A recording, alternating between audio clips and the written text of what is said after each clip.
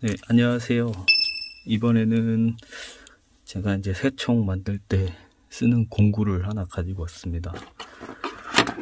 예, 미러키 M12 어, M12 12V 배터리를 사용하는 C12RT 어, 다시 0인데 0은 이제 배터리가 없어서 베어툴입니다. 네.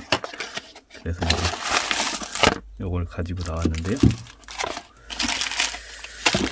어, 이거는 이제 원래 드레멜을 쓰다가 고장이 나서 중국산 드레멜보다는 조금 큰데요. 그 대신에 여기가 척이 달려 있어 가지고 좀 다양한 액세서리를 꽂을 수 있는데 이게 단점이 있어요.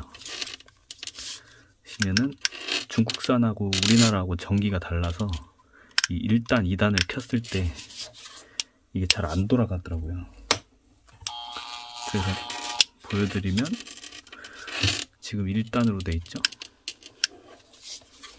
키면 이런 식으로 잘 안 됩니다. 2단으로 돌려도 2단은 조금 되긴 하는데 이제 가끔씩 만들 때 저단이 필요할 때가 있는데 이 중국산은 그게 잘 안 되더라고요.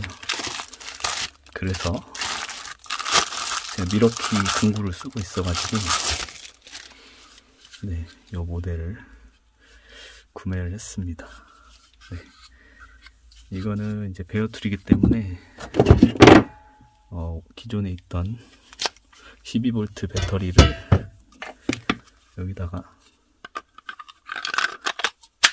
이렇게 끼워서 사용하면 됩니다. 보시다시피 1단, 2단이 됩니다. 한번 해보겠습니다.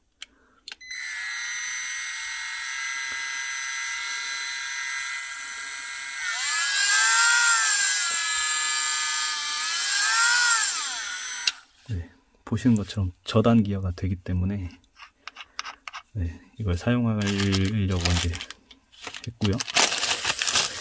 액세서리로 이런 것들을 넣어주는데 절단석, 맨드릴 이런 걸 넣어주는데 사실 이게 장점이 그 드레멜 악세사리하고 호환이 되더라고요.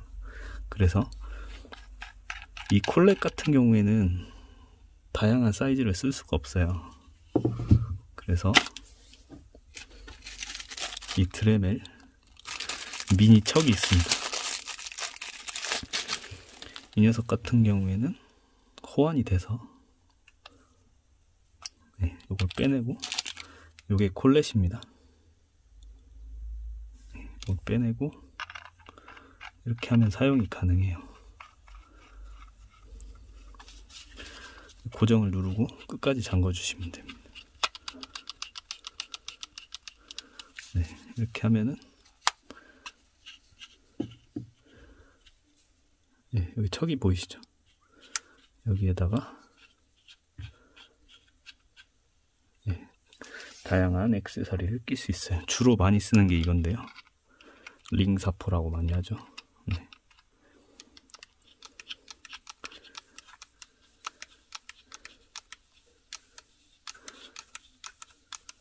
예. 원래는 이제 그 이런 렌치로 꽉 조여야 되는데 지금은 이제 보여드리려고 하는 거니까.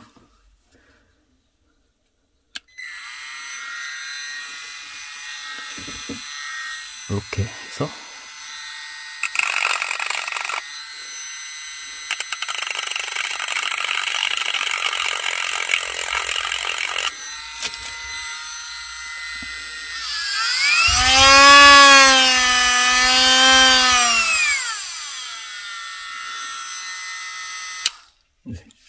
이런 식으로 사용하려고 이제 있는 공구고요. 보시면은 5천에서 예, 초점이 예, 5천에서 37,000 rpm까지 가고요. 예, 0.8에서 3.2mm 샹크 호환이 된다고 합니다. 배터리 잔량 표시는 보시면 킬 때만 보여요. 배터리에 있는 게 아니라 여기 몸체에 있습니다. 그리고 무게는 0.4kg 배터리 제외하고요 그래서 제가 좀 사용을 해봤는데 파워도 무선이긴 한데 파워도 괜찮 어, 괜찮은 편이고요. 예, 쓸만할 것 같습니다. 다양한 악세사리를 사용할 수가 있어요. 아까 여기 보셨던 로타리바 작은 거 또 사용할 수 있고 네, 요런 조그만한 쇠솔도 사용할 수 있고요.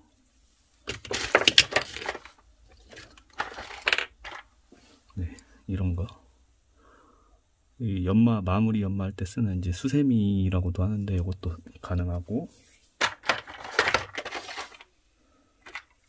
이런 이제 양모에다가 광택약 발라서 광택할 때도, 광택 낼 때도 쓸 수 있습니다. 활용도가 무궁무진해요. 원래는 조각기라고도 많이 부르는데 그렇게 작은 편은 아닌데 그래도 그렇게 무겁지 않아 가지고 그리고 선이 없다는 게 최대 장점입니다. 하지만 단점은 배터리를 쓰기 때문에 배터리가 좀 빨리 달겠죠?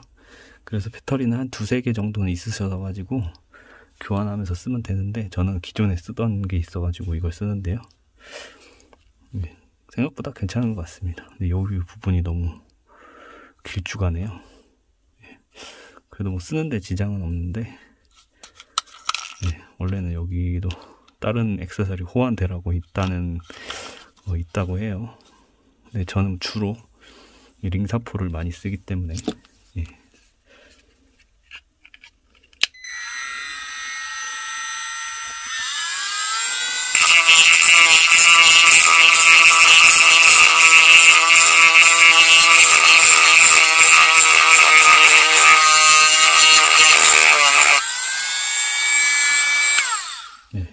좋은 것 같습니다.